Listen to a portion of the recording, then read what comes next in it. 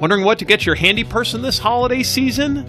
The Handyman Pros radio show will be releasing a series of shows to address just this question.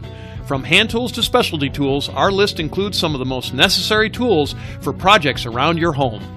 Coming December 2nd to a podcast near you. Don't miss the Handyman Pros radio show on tools.